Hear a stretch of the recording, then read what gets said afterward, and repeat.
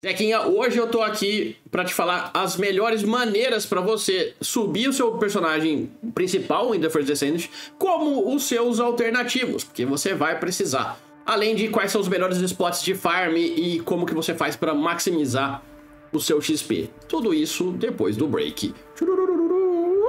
E aí galera, Radomancer na área, aquele que não aguenta mais correr por aí com a Bunny. E hoje eu tô aqui para te explicar como que você faz para ganhar muito mais XP e subir todos os seus personagens pro nível 40. Porque isso é muito importante no jogo, principalmente mais pra frente. Para começo de conversa. Quando você estiver jogando com o seu primeiro personagem, ou aquele que você escolheu no começo do jogo, compensa ruxar as missões roxas, que são as missões principais? Sim, compensa. Pra, como quem já fez quase todas as missões eu posso dizer, não compensa muito ficar prestando atenção na história, não. Pode apertar ESC, ESC, ESC, segue rodando, porque compensa muito, porque a cada nova área que você habilita, você tem armas cada vez mais fortes. E essas armas vão te ajudar a fazer conteúdo mais difícil que vai te dar mais XP. E principalmente as armas e reatores e materiais de nível mais alto vão te ajudar a não só liberar outros personagens, mas a subir eles de nível com o nosso farm daqui a pouquinho que eu vou te falar. Para o resto, vem comigo no jogo aqui. Já estamos, gente. Aqui eu tenho minha Bunny, ela tá no nível 27 ainda. E eu estou subindo ela. Por quê? Eu cheguei no nível 40 com o Ajax e comecei a subir a Bunny. Por que, que eu vou falar para você fazer isso? Para você subir o seu nível de maestria. Maestria é uma das coisas mais importantes do jogo. E o que, que faz a maestria, gente? A maestria aumenta a sua capacidade de módulos, aumenta de módulos de armas, de módulos de descendente e principalmente aumenta a sua capacidade no inventário, que faz bastante diferença, porque tudo isso daqui vai fazer falta se você não subir a sua maestria. E você pode ver exatamente quais são os benefícios de todos os rankings de maestria. Como que você sobe maestria? Ganhando nível de personagem e ganhando nível de proficiência de armas. Dá uma olhada aqui na minha arma, o domador. Nível de proficiência 18. Por quê? Porque todo mundo só usa essa arma. Essa arma é meta, então... Agora, dá uma olhada nessa outra. Caminho do Explorador, proficiência 6. O que quer dizer que eu posso ganhar muito mais XP com ela. E o XP que eu ganho aqui vai para o ranking de maestria. Uma dica é sempre troque de armas e sempre troque de personagens.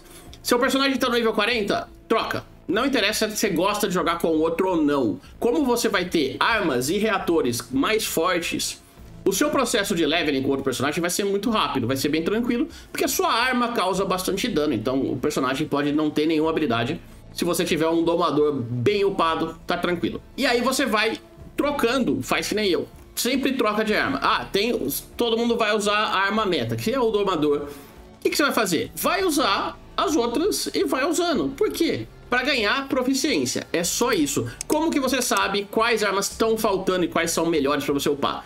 Vem aqui em lista de armas. E aí, magicamente, tem todas elas aqui com os seus respectivos níveis de proficiência. E você pode ver que eu tenho armas aqui que eu tenho nível de proficiência 1. O que, que eu vou fazer? Eu vou colocar isso daqui a hora que eu estiver subindo um personagem e vou ser feliz, porque eu vou poder ganhar bastante XP e vou aumentar bastante o meu rank de maestria. Novamente, nível de personagem é mais importante do que o nível de proficiência. Uma outra coisa, quando você chega no nível 40, você pode resetar o nível do seu personagem. Se você fizer isso, você não vai ganhar XP pro rank de maestria. Então, toma muito cuidado, porque às vezes você fala, não, eu vou ficar com o mesmo personagem porque eu gosto desse, mas sua maestria não vai subir por causa disso. Então, novamente, cuidado com essa pegadinha. Vamos falar que você tá que nem eu, já tá num nível mais ou menos, mas quer dar uma ruchada no seu ganho do seu personagem. O que, que você vai fazer? Missões de defesa. A mais fácil é aqui em Kingston. Ó, operação especial, proteger os recursos de Albion. Como que você faz para ir lá? Vem aqui em Albion mesmo, vem aqui buscar informações das operações especiais e aí vai ter todas as operações especiais. As melhores são as de defesa, porque é onda, é muito fácil. Você fica parado, os bichos vêm. Aquela em Kingston é ridiculamente fácil e você ainda ganha um material amorfo, umas coisinhas aqui. E se você tiver armas fortes, que você provavelmente vai ter, porque você tá subindo de nível com o seu personagem principal, vai ser tão fácil para você, mas tão fácil que vai dar até sono.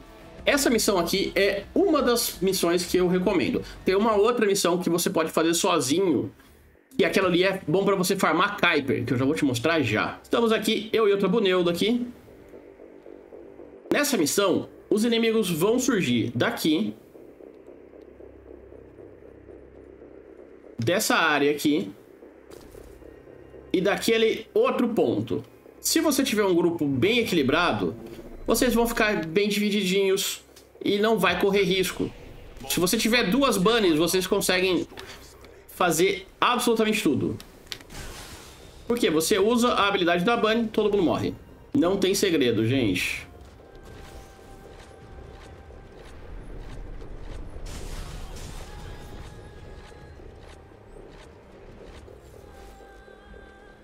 Concluindo aquela rodadinha, fiz 10 rodadas, eu subi 5 níveis com a Bunny, subi o meu, meu rank de maestria, subi mais de 10 níveis com a minha Caminho do Explorador, e ainda subi também mais uns quase 10 níveis com o Sonho Distinto.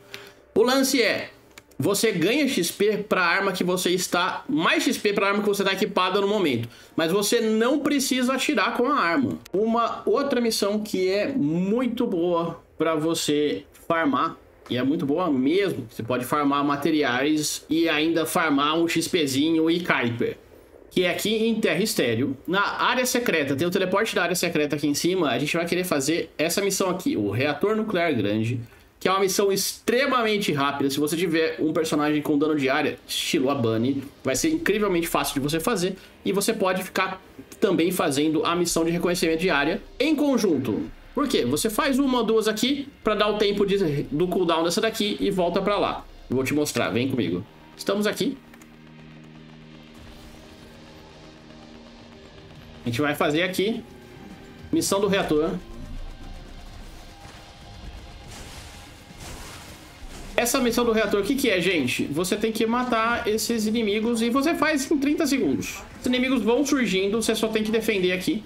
Se, como eu falei, se você tiver uma bunny, você vai ficar andando em círculos, literalmente. Se você tiver em grupo, mais fácil ainda, porque você manda alguém pra cá pra fazer a limpa, depois você volta. Essa é uma missão que é muito boa de fazer, tanto no normal quanto no hard. E é um ótimo farm de Kuiper. Também cai alguns fragmentos aqui, mas vamos falar a verdade, você não tá aqui para isso. E aí, depois que você termina essa missão, você pode só vir aqui e ver se essa, é, essa outra missão já voltou. Aqui não voltou, dá pra ver. Então, o que a gente vai fazer? A gente vai voltar para aquela missão.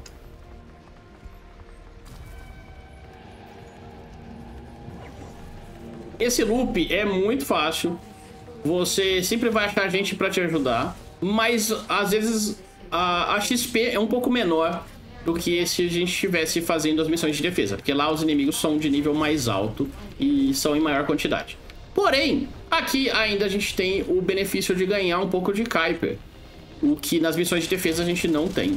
O lance é, você pode fazer ela repetidas vezes antes de liberar o reator. O reator tem um cooldown de 5 minutos, se não me engano. E você fica nesse farmzinho aqui. E é um bom farm porque aqui a gente tem Aqui a gente tem estabilizador de forma tipo 2, finalização letal, que são coisas boas. Isso aqui no normal, no difícil ainda é melhor. E aí, você mata esses inimigos aqui, espera os reatores ficarem disponíveis para você explodir. Liberou aqui, gente.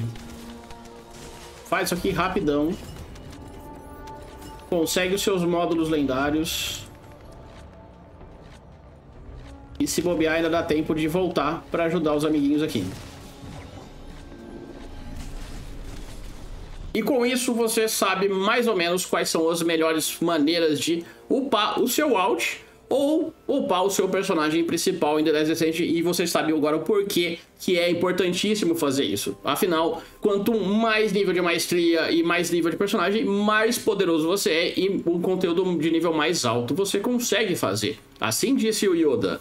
E se você gostou do vídeo, não se esqueça de se inscrever no canal e dar uma olhada nesse outro vídeo aqui. Novamente, eu sou o Radomancer, obrigado pela companhia, a gente se vê no próximo. Hashtag, beijo, me liga.